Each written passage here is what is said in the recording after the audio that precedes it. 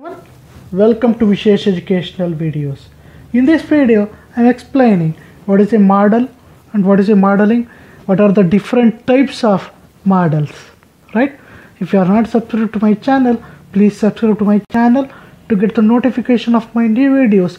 Please click the bell icon and please don't forget to like the video and please don't forget to share the video with your friends. So let me begin the explanation of modeling.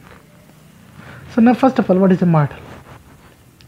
So model in simple words, it's a diagrammatic representation and a model is nothing but an abstraction of something for the purpose of understanding it before building it. For example, abstraction means you are going to select the things that are necessary for to build the software. For example, when you are building the bank software, you are going to select only the uh, details that are related to the bank.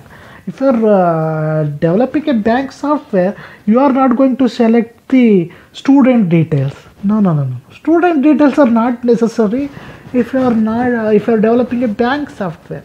If you are developing a student related software, you need a student details. If you are developing a bank software, you don't need the student details. That is abstraction. Abstraction means it is a selective examination of certain aspects of a problem. The goal of abstraction is to isolate those aspects that are important and you are going to suppress those aspects that are unimportant. If you are developing a bank software, bank related details are important for me. Student details are not important for me. I'm concentrating only on the bank details and I'm suppressing the details that are related to the student. That is abstraction. So model in model also I'm going to develop a diagrammatic representation. In that model, I'm going to add the details that are only necessary for me. And I'm going to reject the details that are not necessary for me. Suppose if it's a class model, uh, only class related details will be there. If it's a state model, only state related details will be there. I will explain this in, in this video, no worries. So what you have to understand there, what you have to understand there means class model doesn't contain the state related details. State model doesn't uh, contain the class related details. That is abstraction only the details that is necessary for that particular model will be there. Other details that is not there uh, sorry that are not needed won't be there. That is abstraction. So why we have to develop the model? Why have we have to abstract? First if i want to understand the details about the classes i will develop the class model. If i want to develop the details about the state states i have to develop the state model. So to understand it before building the software to understand the details i will develop the model that is the diagrammatic representation. Abstraction means class models contains only class details other details won't be there. State model contains only state details other details won't be there. Right? No worries. I'll take up the examples. You will understand that in a more better way. So first uh, i will uh, i will do one thing First I will explain these models, then I will take up the advantages. Then we will understand in a more uh, better way. So class model. So this is the class model. You can see this is the diagrammatic representation of classes. Here this class model only contains the class related details, not any other details. That's why it's abstraction. Class model is concentrating only on the classes not on the other details like states or interactions. What we are getting? Only the class related details are there. That's why model is the abstraction of some things that are needed by you. You can understand the classes here by seeing it. That's why.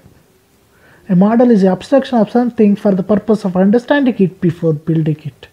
Now you get some, now you got some idea, right? Now, this class model you are seeing the class model here what it's going to tell class model represents the static and structural aspects of the system in simple words here your software will be represented in the form of classes. Classes are nothing but a set of objects. Classes contains a set of objects. So your software will be represented in the form of classes. So class model in turn, uh, if it is expl- uh, it explains the objects in a system. Yes, because class is a set of objects, and also the relationship between the objects, their attributes, their operations, all those details will be represented in a class model. I'll explain that. No worries. So goal of constructing the class model is to capture this uh, class related concepts, object related concepts, attributes, or relationship between the objects, these details, right, will be represented in a class part. For example, uh, this is the class diagram for the online store. Online store. You are developing a online store. First, uh, that's why you have to develop the class model here class model contains the different classes of your software. So online store software contains these classes. What are the classes? User store class. Here the uml notation to represent the class is the box. Here the class is uh, represented in the, three compartments. First compartment contains the class uh, name. Second compartment contains the uh, attributes third compartment contains the operations. So in the first class the first compartment contains user store. This is the name of the class. Attributes are not present in this. That's why the second compartment is empty. Third compartment contains the operations. So what are the operation you can do? You can add the store. You can add the user to the user store. You can get the details of the user from the user store. That's why adding and getting the details is the operations. That's why it is in the third compartment. This is the uml notation unified modeling notation to represent the class. This is the same notation you have to use. Next what is the next class? Reserve. To reserve the product. User can reserve the product. What are the attributes?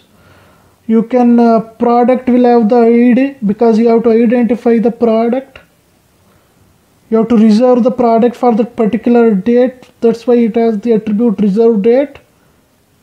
Hope you are getting. New. So when you reserve the product you have to add the product for the new new product for that particular user. That is the operation. Now you are getting right guys? So see product store is the another class. Get id you have to if you want to add the product you can add it. If you want to get, the details you can get the details of the uh, product. Now you got right? So class model represent these class details. You can see. So this classes contains different objects. If i see a, if i say a user store user store can contains different different users. Their different different users are objects product class can contain different different products. So many hundreds of products. There the number of products are nothing but objects of this product class. So these details of the objects and the classes are represented by class models. So class model represents only the static behavior. Static means it is only only giving the details about the classes.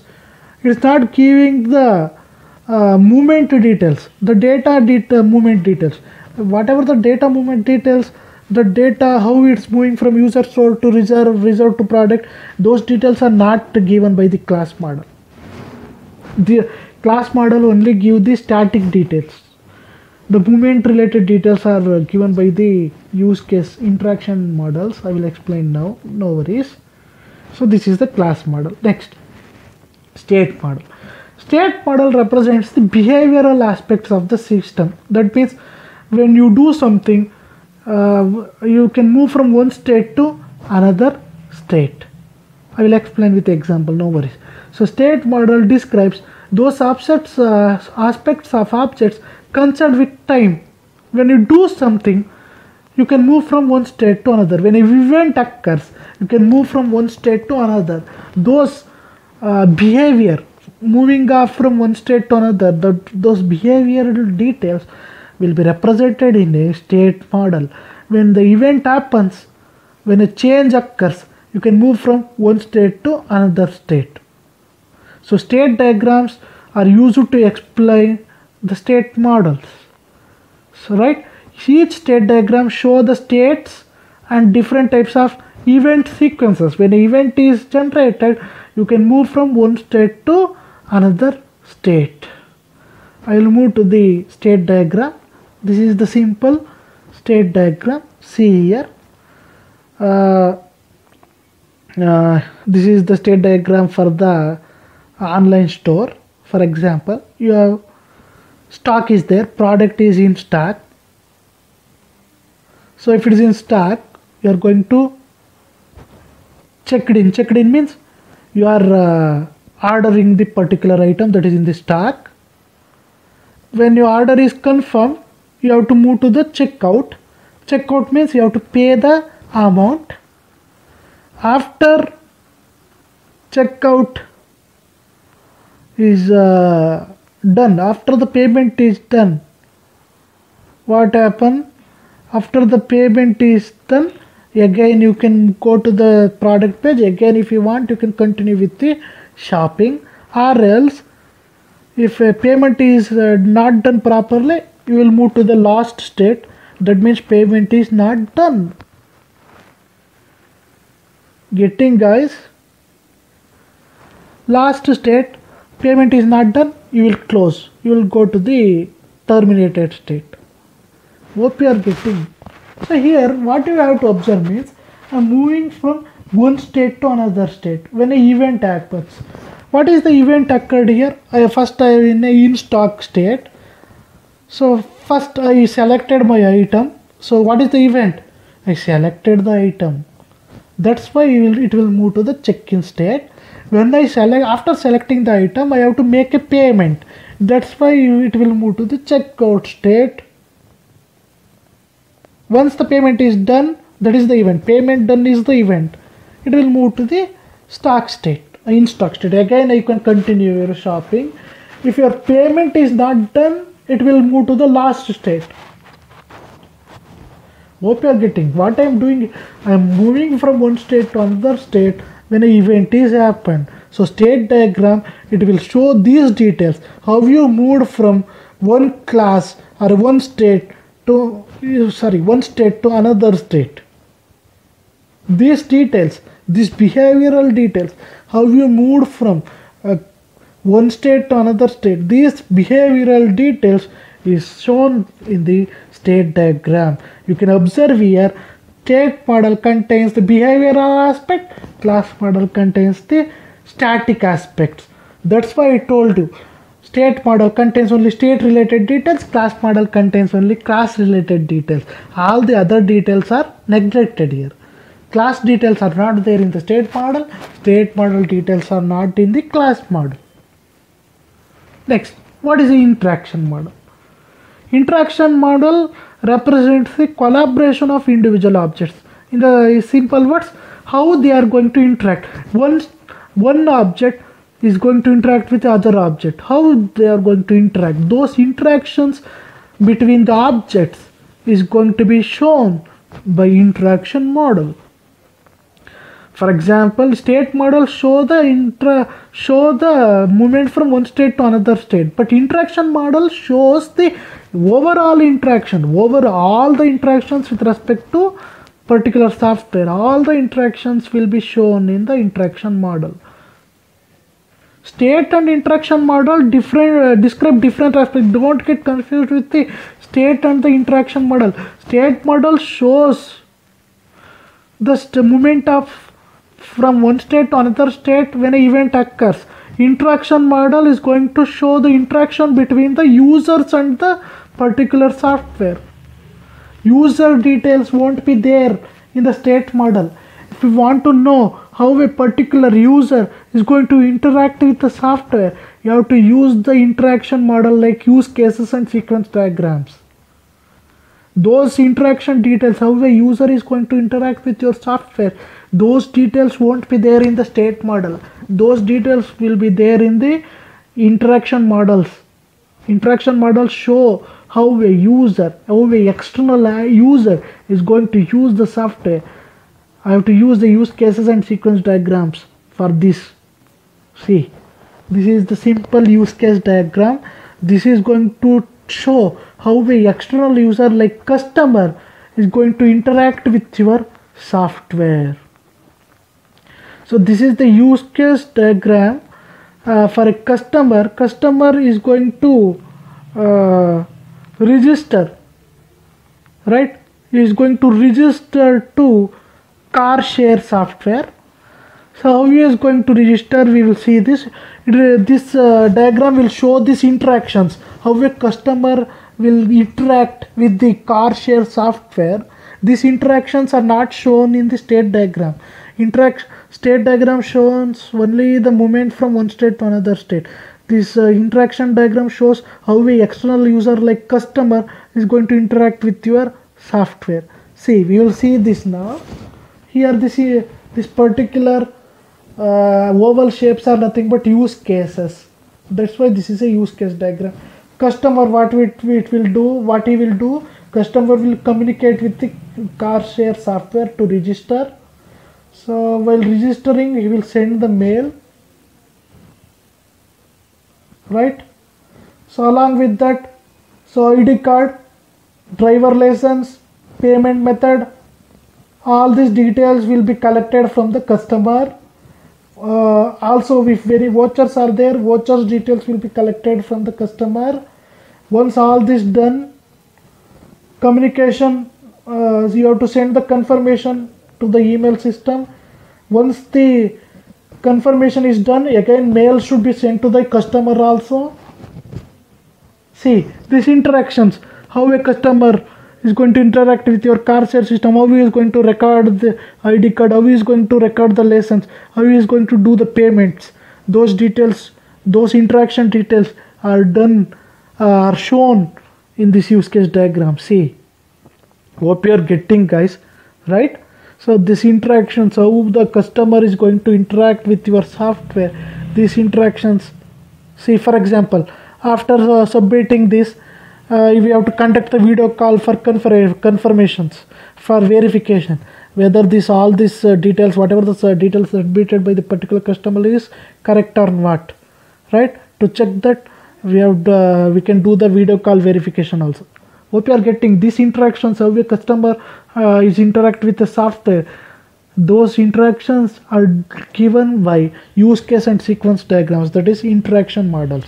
You can observe there whatever the details that are present in the class model are different whatever the details that are present in the state model are different from the class model whatever the details that are present in the interaction model are different from the state and class model. So each model is going to give different different details. That's why model is abstraction. One model is going to give the details that are necessary. Interaction model is going to give the interaction details not the class details or state details. Right? That is the case here. Each model is going to give different different details. Hope you understood the concept. Suppose if you have any doubts still if you have any doubts you can post your doubts in the comment section guys. Thank you. Thank you for watching the video